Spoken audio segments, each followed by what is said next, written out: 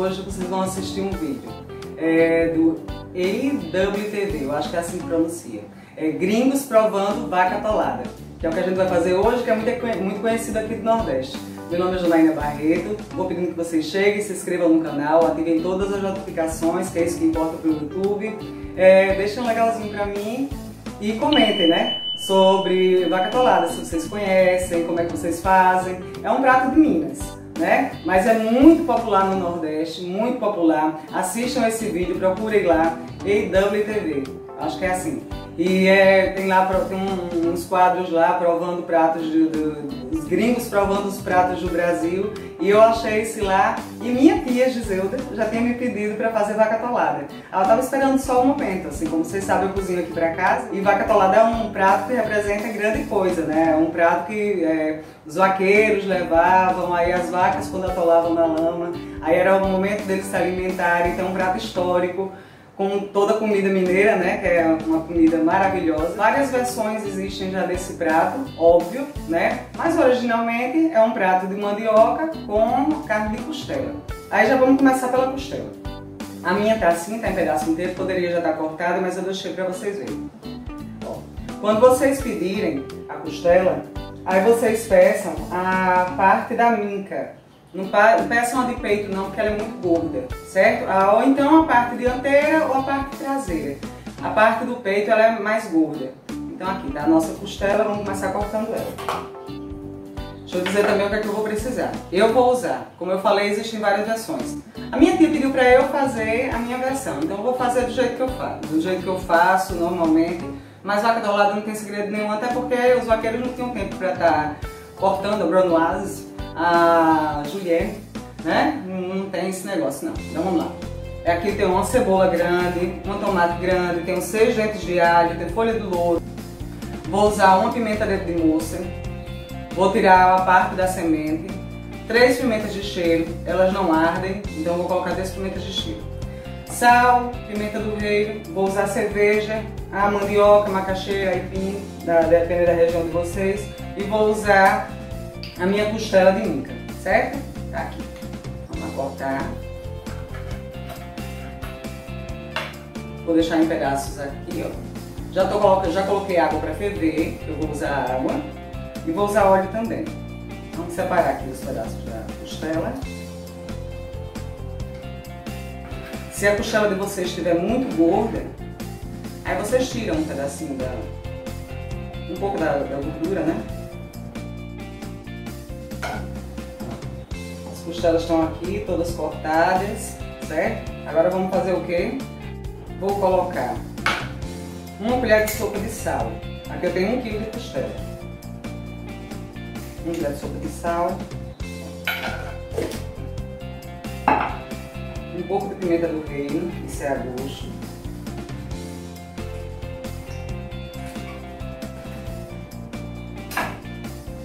Já vou pegar a minha pimenta, vou começar pela de cheiro, porque dela não desperdiço nada. Pimenta de cheiro. Tiro só o cabinho.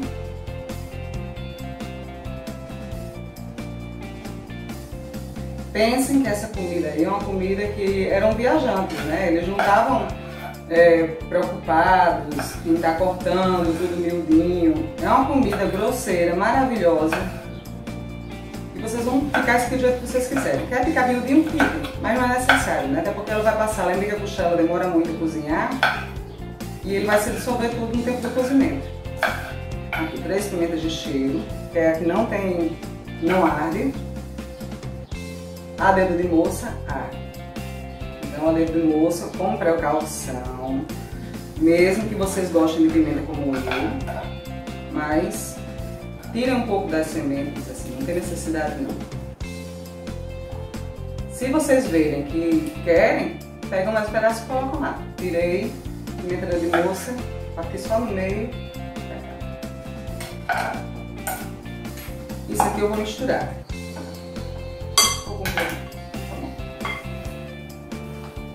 Sal, as pimentas.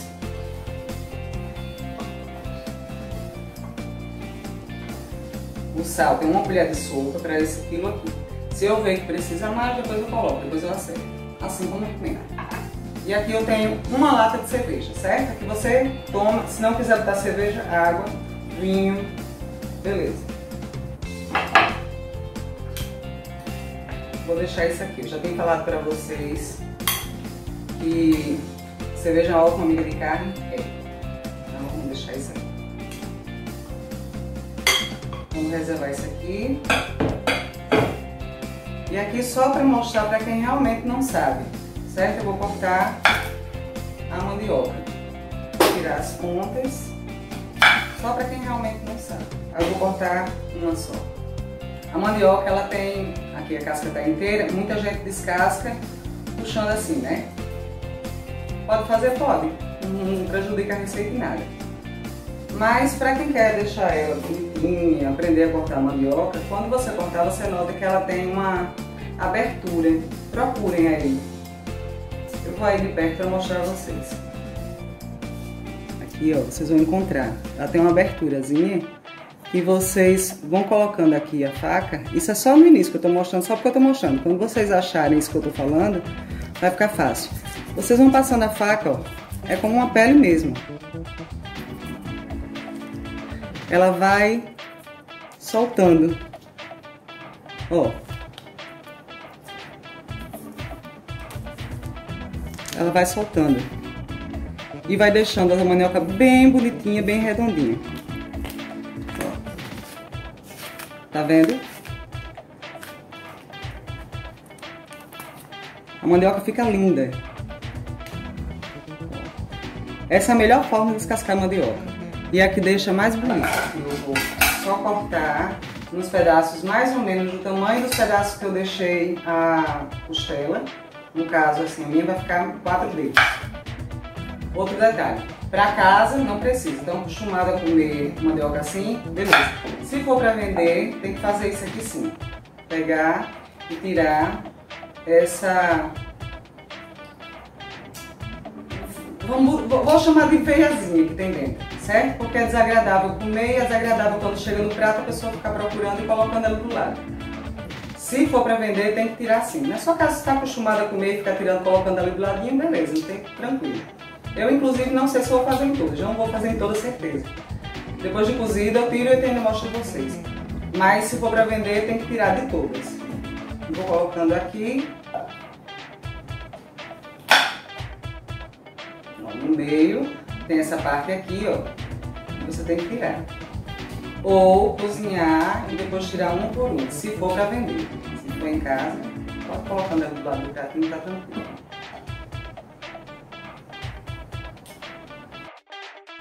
mandioca descascada, cortei.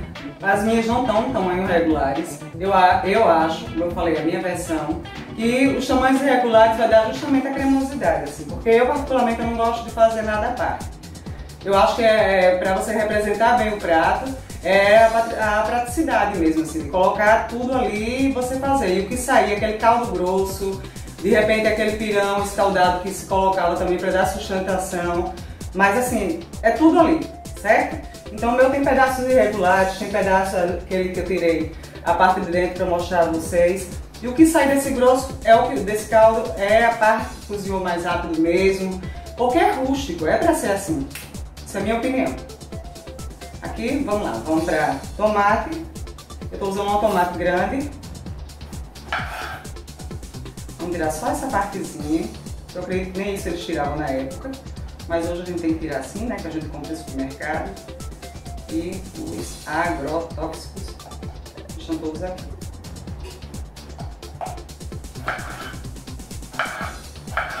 Isso aqui vai se dissolver na panela de pressão.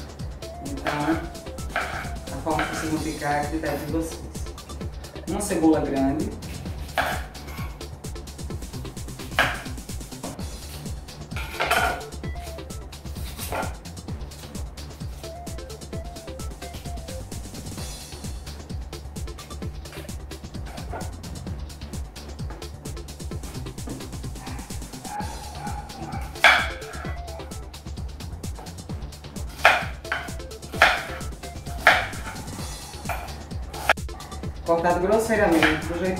Cortarem vai ficar ótimo.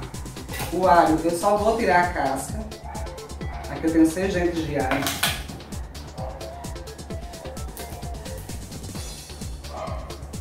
Isso aqui vai passar muito tempo lá dentro da panela de pressão, porque a costela precisa de tempo para cozinhar e soltar do osso.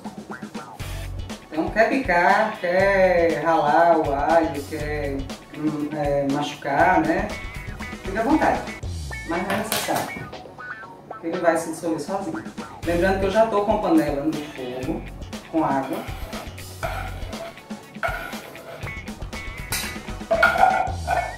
Pronto. As mandiocas lavadas, limpas. Lembrem que eu falei a vocês que se vocês quiserem, partam no meio e tirem esse cabinho que tem aqui no meio. Ele é meu chatinho de tirar assim tudo. Então eu particularmente vou deixar. Mas se vocês estiverem no restaurante e tiverem alguém para fazer isso para vocês, é melhor, sai mais rápido. Isso aqui vocês tiram, principalmente se for para vender. Em casa deixar ela no prato, cada um que se Vamos pro fogão. Chegamos às panelas. A minha panela já está aqui, ó, em fogo alto, certo? Já está aquecendo. Ela já está bem quente, por sinal. Vou colocar um pouquinho de óleo, bem pouquinho, senão isso vai espirrar na minha cara. E vou começar a colocar as costelas. Esse óleo está bem quente, ó. As costelas estão marinando, passaram duas horas aqui, certo? Podem colocar até de um dia para o outro. Ó. Vamos lá. Colocando. É importante que nessa hora vocês coloquem e deixem. Não fiquem mexendo não. Que a gente vai selar essa carne. A minha água já está fervendo ali atrás. Vamos deixar ela aqui.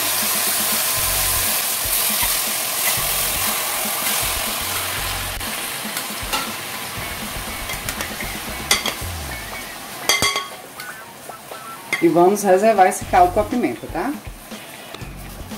Nesse momento vocês deixam aí bem quietinho. Quer colocar coloral, coloca. Quer colocar cúrcuma, coloca, né? Pra dar uma cozinha mais. Eu vou pegar o, o, a cor que vai causar justamente da dessa caramelização que vai ter agora na carne, tá? Então pronto, deixa aí, deixa essa, todo esse caldo que tá soltando aí secar, fogo alto, é muito importante, não mexe e vamos selar essa costela. Poderia ter feito a panela pressão? Poderia. Mas eu vou colocar, depois da panela de pressão, eu vou colocar nessa panela novamente.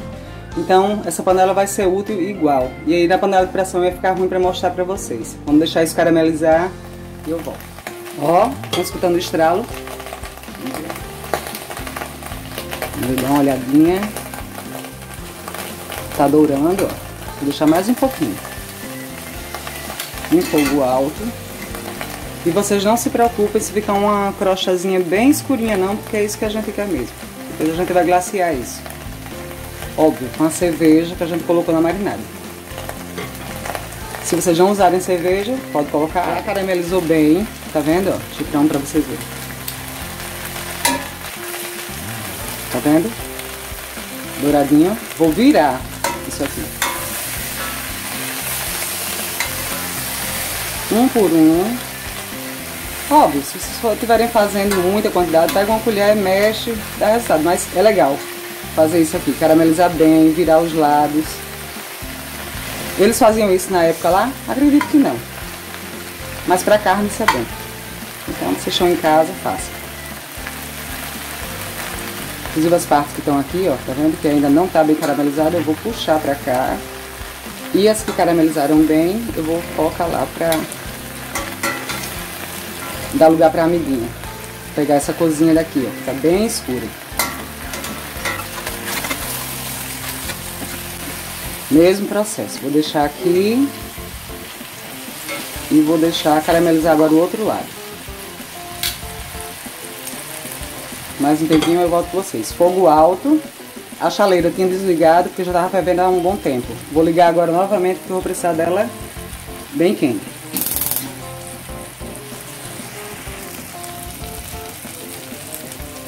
Carne tá bem saladinha. Ó, vamos olhar. Tá vendo? Criou fundo do outro lado também, ó. Que eu tinha deixado. Naquela hora. Se eu quiser, eu ainda posso deixar dourar mais. Mas pra mim tá suficiente isso aqui, ó. Mas eu ainda posso deixar durar mais, pegar mais cor. E é isso que eu vou fazer. Ó, isso aqui, eu já tinha dito a vocês, ó. Isso aqui é um... Quando o sangue tá entrando aqui, tá subindo, foi no vídeo do contrafilé. Quando tá subindo, significa que a temperatura tá entrando na carne. Isso é um bom sinal. E aqui ainda não pegou, tá vendo a cristalização, na caramelização? Então vou deixar um pouquinho mais. Vou fazer a mesma coisa, dar espaço para as amiguinhas que não pegaram cor. Vou inclusive rodar a minha panela, porque o fogo tá pegando mais de um lado do que do outro. E fazer o mesmo processo, eu volto com vocês. A minha carne já selou bem. Ó o fundo que criou. Tá bem escuro, Isso aqui vai ser a cor da minha carne. Por isso eu não coloquei coloral, não coloquei nada disso. Mas você pode colocar, se você gosta de páprica, se você gosta de cominho, pode colocar o que vocês quiserem.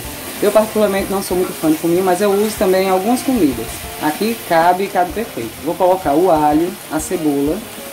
Não vou colocar o tomate agora porque eu não quero que solte água. A cebola já solta um pouco.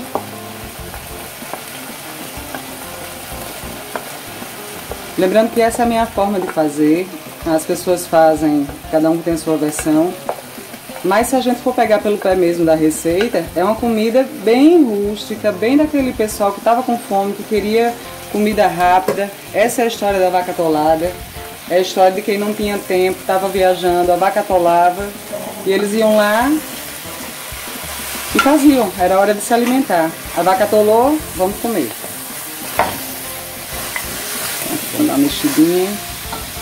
Vou colocar as minhas folhas de louro. Esse tipo de comida precisa de folha de louro.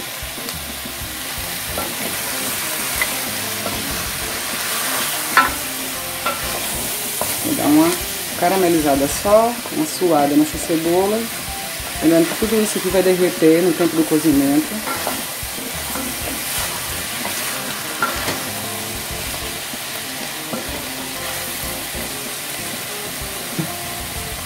Agora eu vou deglaciar isso aqui com a minha marinada, certo? É a cerveja e as pimentas.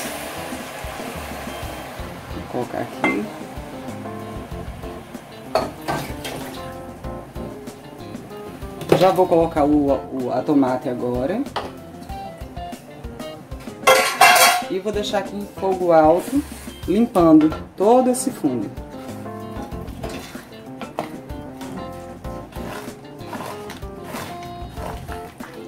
aqui tudo, isso aqui eu vou limpar.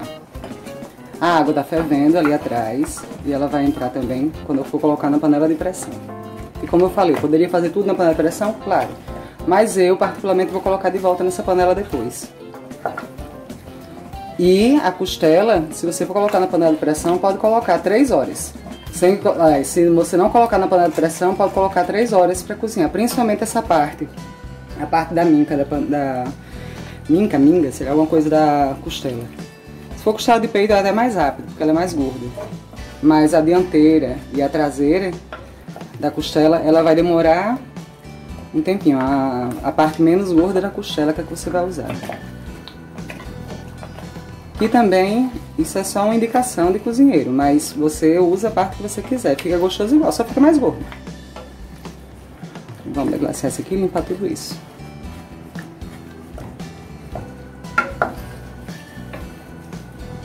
Ó, a coco já vai ficando caldo, tá vendo? Isso vai passar para mandioca, macaxeira, aipim, como vocês chamam aí na região de vocês. E é o que vai dar cor.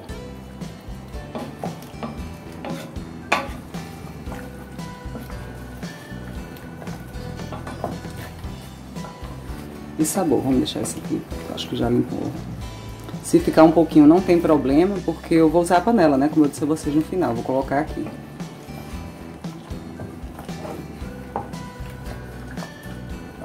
eu já passei para o meu caldo todo o sabor que eu quero. Vou tirar a panela daqui para colocar a panela de pressão.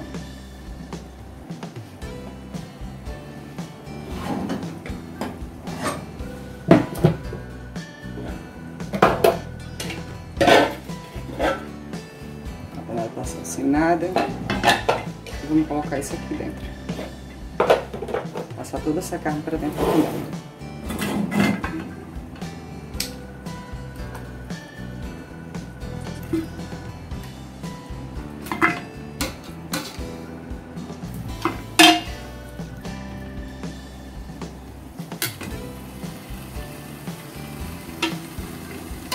E o esquema da panela de pressão é aquele que todo mundo sabe, né?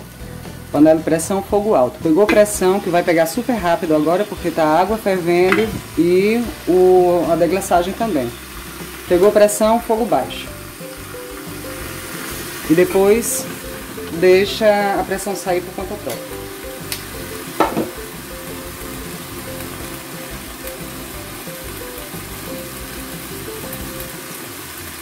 Agora a gente vai pegar toda a nossa deglaçagem. Vou até limpar mais um pouquinho aqui.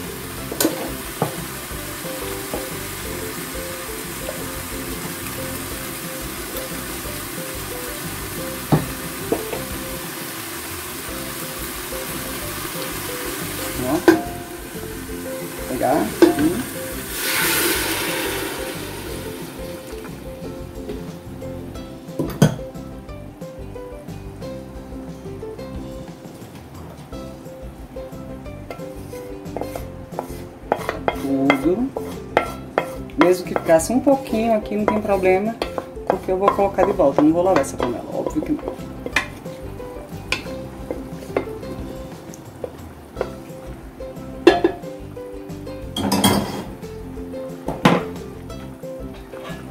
Vamos reservar minha panela para depois do finalização do prato. Aqui eu tenho água fervendo.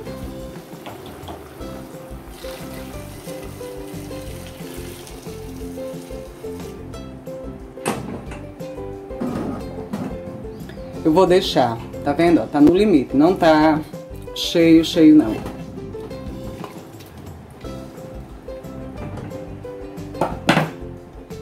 Vou colocar já a mandioca. Aí, ah, mas a mandioca cozinha muito rápido. É verdade, mas é aquilo que eu falei, vocês acham que o pessoal naquela época estava preocupado se ia cozinhar antes, se ia cozinhar depois? Não, é um prato só. Você vai colocar por cima O tempo de cozimento vai ser diferente de uns pedaços para o outro. Uns eu abri, outros não, outros quebraram, outros não. Isso é o que vai dar cremosidade, justamente essa diferença de, de tempo. E eu acredito que esse meu prato seja muito fiel, porque eles não desperdiçavam comida, como se faz hoje em dia.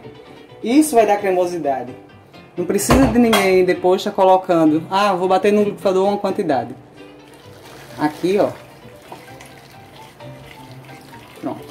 Não vou me preocupar, vou colocar só mais um pouco. Não vou me preocupar em cobrir a mandioca.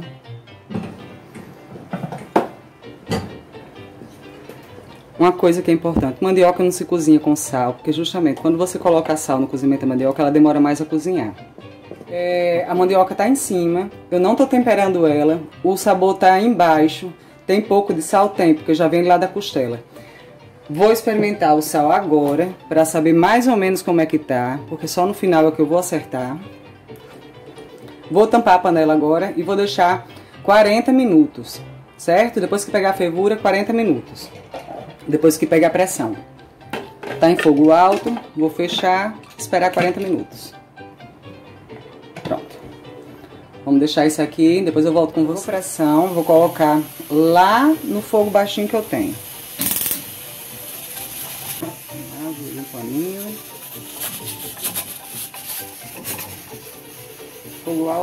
E vamos esperar. Pegou pressão, 40 minutos. E eu vou deixar a pressão sair por si só. Não vou tirar a pressão, não.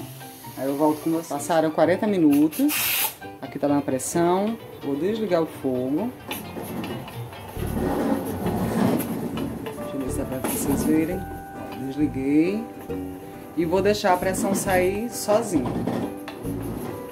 E aí vamos ver a surpresa, né? Como é que tá esse, essa nossa vaca atolada. A pressão já saiu.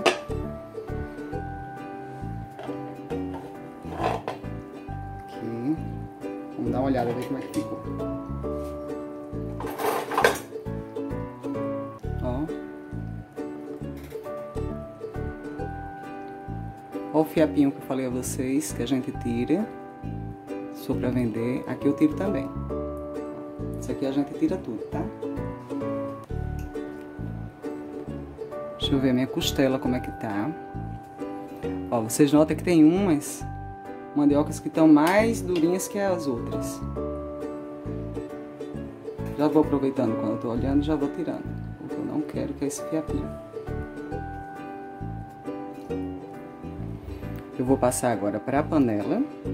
E a intenção é essa, ó, uns pedacinhos, outros bem cozidos. Ó, ó essa daqui, o estado dessa mandioca. Ó, a cor. Vou colocar na outra panela. Aquela panela sujinha, ó, que tá a nossa mandioca, do jeito que tava lá, que eu mostrei pra vocês. A nossa panela sujinha. Eu vou ligar o fogo.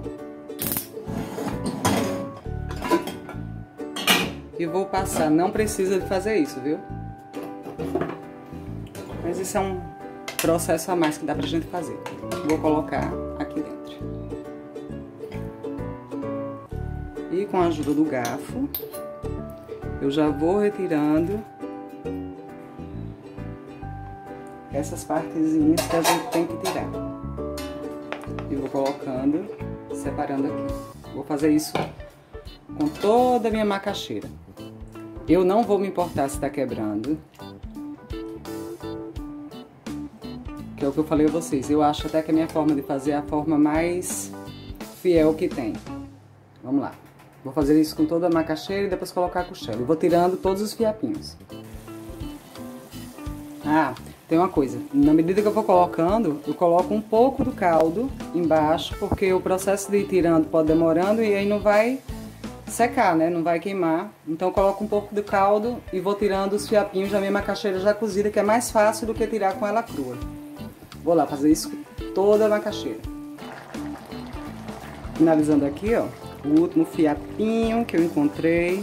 Se vocês não quiserem fazer isso, não façam. Agora é interessante fazer. Tira enquanto estiver crua. É só mais duro.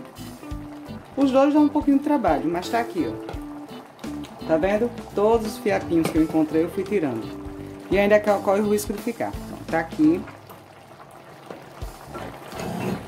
A nossa mandioca. E agora vamos para a costela. Vamos ver que ponto ficou essa costela nesses 40 minutos de pressão. Só para vocês terem uma ideia. Se tá soltando do osso. Ó, os ossos já estão soltos aqui. Ó. A gente também vai tirar as folhas de louro. Já vou tirando, ó, folha de louro.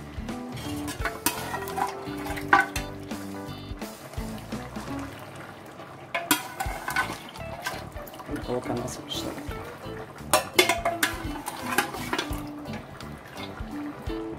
Bem, se está soltando do osso, não precisa de falar, né? Se está soltando do osso não.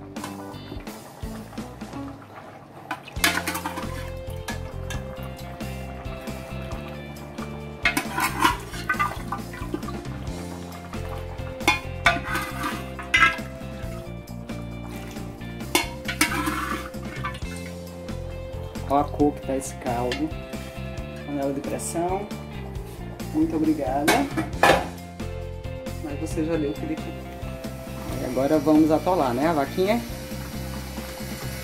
Pensem numa lama quando vocês estiverem fazendo vaca atolada. Se vocês estiverem escutando barulho, eu já expliquei a vocês que aqui onde eu moro é um bairro muito bom, mas é cheio de construção por, por perto.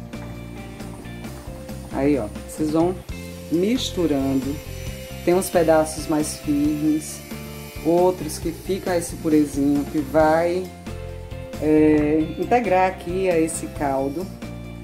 Essa é a cremosidade da nossa vaca atolada.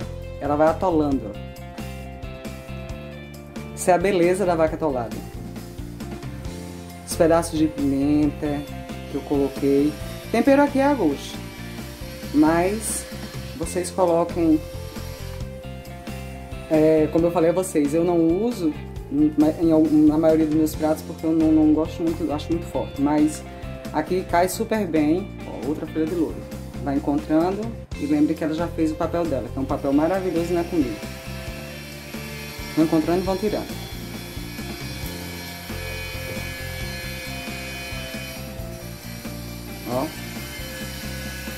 Só nesse movimento aqui que eu tô fazendo e no fato de ter deixado esses pedacinhos mais moles entrar em, entrar em contato com a panela, enquanto eu tava procurando esses fiapinhos, ó, sempre aparecem. Só aquele tempinho ali já foi deixando mais cremosidade no caldo. Não precisa estar liquidificando nada. Pensa que não existia isso. Onde é que eles iam liquidificar um caldo de mandioca no meio da lama? Se eu coloquei cerveja foi porque eu quis. Vocês podem colocar uma cachaça lá para marinar, fica tranquilo, fica de boa, fica maravilhoso também. É, cerveja não é necessário. Ah, tirar os fiapinhos também não, para deixar mais rústico. Mas a forma como eu preparei o prato é o que eu quero que vocês entendam. Ah, além do tempo, se for deixar para cozinhar, panela de pressão também não tinha. Então assim, 3, 4 horas de panela. Ó, dá para vocês verem, olha a olha a cremosidade. Ó, ó. E quando esfria, pega mais consistência ainda. Então a nossa vaca atolada tá pronta. Vou colocar um pouco de coentro e cebolinha, para dar um verde. Mas a vaca atolada em si já está pronta. Pimenta, sal aqui é o necessário. Pimenta e sal é necessário aqui, certo? A questão de pegar um pedaço da dianteira ou traseira que tenha menos gordura também é uma questão que é opcional. Eu não acredito que eles estivessem escolhendo na época qual é a parte que faz. Até acredito, porque é a parte do peito, que é a parte mais gorda, servia para o churrasco dele, a nossa vaca atolada. E pensem que esse caldinho aqui, depois que esfria, ele fica mais grosso. Então eu não vou deixar engrossar mais, tá? Essa é a nossa vaca atolada.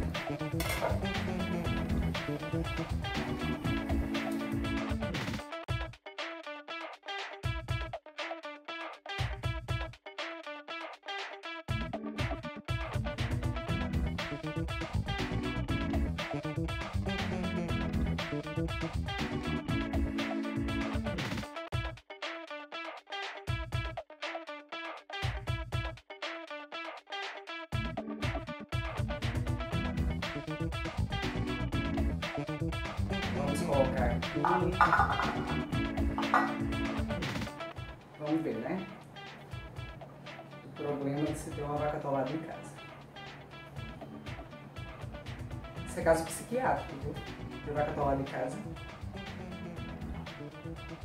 Eu que tenho que fazer dieta, com vaca atolada em casa fica complicado. Mas gente experimenta, né? Não obrigado por minha panela toda. Vocês viram como é fácil fazer bacalhau? Como é gostoso. Como é bom a gente ter carinho com a comida, não colocar tudo de um só jeito. Não precisa de jeito nenhum de estar liquidificando nada. Ó, esse molho. Olha a textura desse molho.